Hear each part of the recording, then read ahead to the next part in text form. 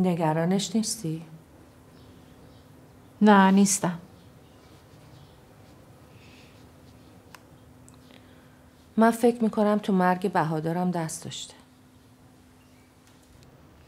یعنی برادرش رو کشته؟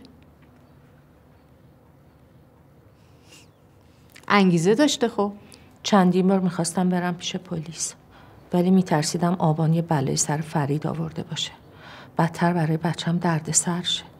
چرا همچین فکری می‌کنی؟ به خاطر اینکه خیلی وقته که دیگه پیگیرش نیست. تا میام حرفش رو پیش بکشم از زیرش در میره فرار می‌کنه.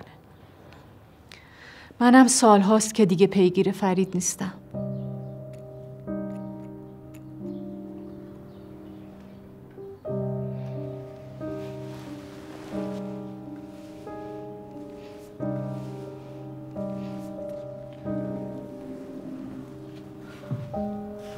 سمیه تو رو خدا از من کینه به دل نداشته باش.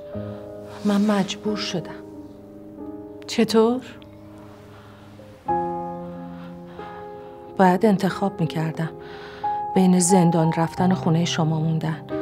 فرید یک عالم سند و چک و سفته از من و بهادر دستش داشت.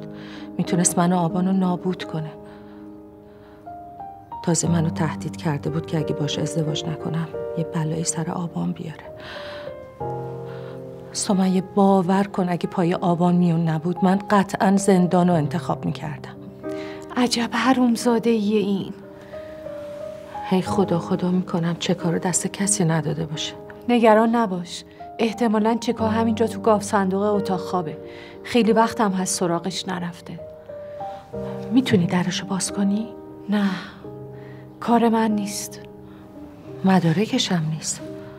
نه پاسپورتش نه شناسنامهش چک کردم سوار هیچ هواپیمایی هم نشده.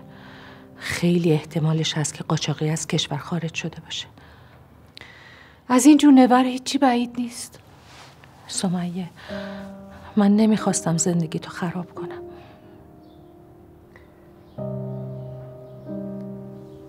می‌دونم تقصیر تو نیست. زندگی من سالها بود که خراب شده بود.